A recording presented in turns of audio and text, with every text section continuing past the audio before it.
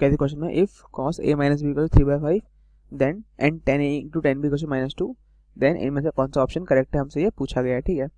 तो देखो cos of A minus B की वैल्यू हमको दे रखी है?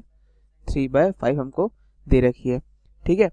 तो इसको एक्सपेंड कैसे करूँगा मैं? Cos A cos B minus sine sorry plus sine sine B क्योंकि cos A cos B plus sine A into sine B की वैल्यू कितनी आ जाएगी? थ्री बाय फाइव, ठीक है? ठीक है, और हमको दूसरी चीज़ क्या दी है? हमें दिया हुआ है ten A into ten B equals to two, ठीक है? तो हमें क्या दिया हुआ है? Ten A into ten B, इसकी वैल्यू कितनी देखिए हमको? टू, ठीक है? टेन ए को लिख सकता हूँ मैं, sine A upon cos A, ठीक है? Sine A upon cos A, और टेन बी को लिख सकता हूँ मैं, sine B upon cos B, और इसकी वैल्यू दी है मुझे टू तो यहाँ से कितना आ जाएगा? Sine A, sine B sine A into sine B इसकी वैल्यू कितनी आ जाएगी?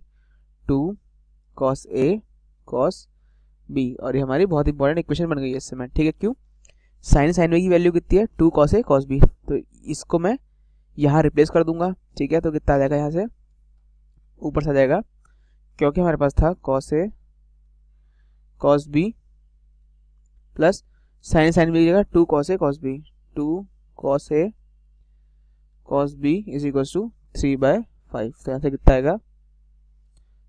Three cos A cos B is equals to three by five यहाँ से कितना आ गया? Cos A into cos B की वैल्यू कितनी आ जाएगी?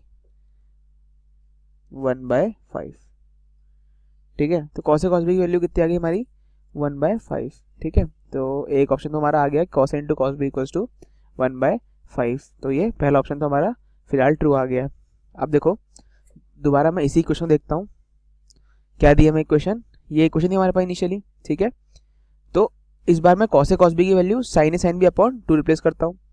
ठीक है कौसे ए कॉस बी की value sine A sine B upon two plus sine A sine B is equals to three by five ठीक है?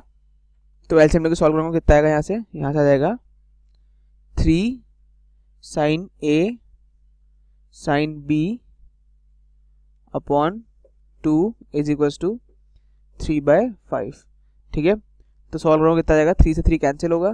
ठीक है? तो यहाँ से sine A into sine B की वैल्यू कितनी आ जाएगी? टू बाय फाइव तो हमारा साइन ए साइन बी की वैल्यू कितनी आ गई? टू बाय फाइव तो कौन सा ऑप्शन एक और ऑप्शन करेक्ट हो जाएगा हमारा sine into sine B cos two two by five sine में हमारा कितना टू बाय फाइव है तो ऊपर कोई भी ऑप्शन नहीं है, इसलिए केवल और केवल ए करेक्ट है, ठीक है?